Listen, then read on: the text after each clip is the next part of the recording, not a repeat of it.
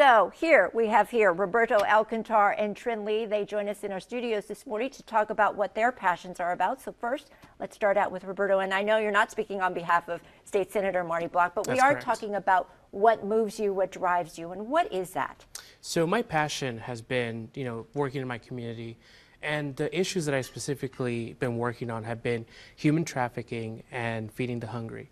Now, my previous work experience has taken me, you know, to places where I've worked on those fields. So I've dealt with issues primarily with domestic trafficking, which is mm-hmm. something that a lot of people are not aware of, you know, that goes on in our communities.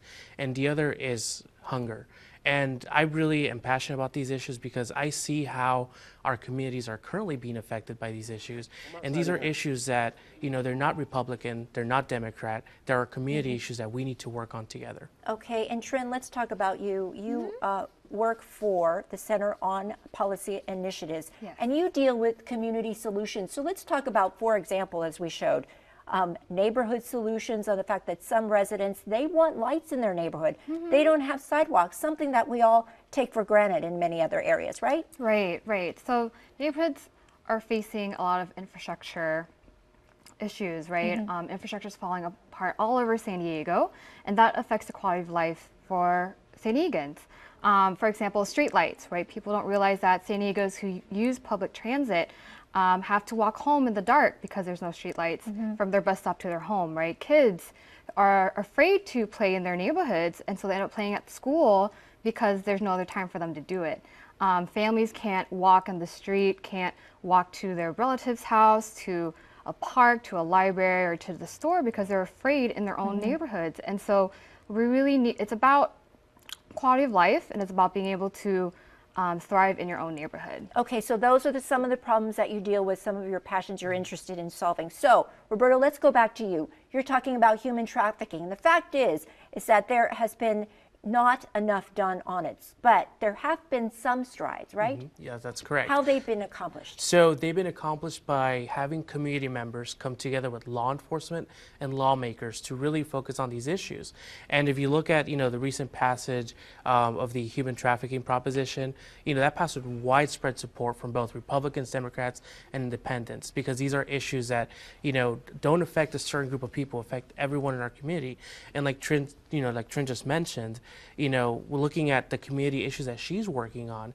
Those affect these other issues. So, you know, if you have streets that are well lit, you know, where there's lots of public safety, you're not going to have these places where it's, you know, easy for human trafficking to occur. A lot of this is domestic. So we need to look at those issues. Um, and also the hunger issue. You know, it, we have in our Great. county one in five people face food insecurity. Okay, and really quickly, Trinh, civic engagement. That's part of the solution, isn't it? It is, it is. We need services that work for the residents. And so um, that includes resident involvement in the process, right? I work with the Community Budget Alliance. Um, we do budget presentations all over San Diego to make sure that folks understand um, how the budgeting process works. But community education is not enough.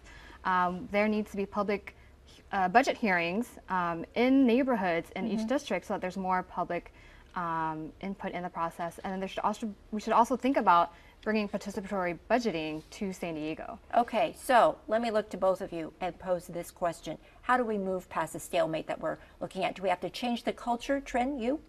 Um, I think we need to look to our leaders, and um, our leaders, especially our elected officials, need to put their differences aside and really um, think about the greater good. Okay, and Roberto, what? How about the you, the two of you?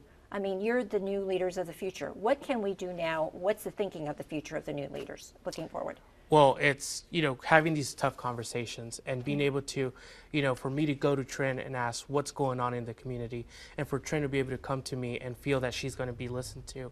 And one thing that always fascinated me about NLC is where else can you get somebody that works in politics, a community organizer, someone in real estate, and someone who works, you know, for for business and an entrepreneur together talking about these issues. And this is something very unique, and I think we're very fortunate uh, to have this in San Diego. Which is what you learned at San Diego Leadership Alliance, right? All of you coming together of That's differences. correct. All right.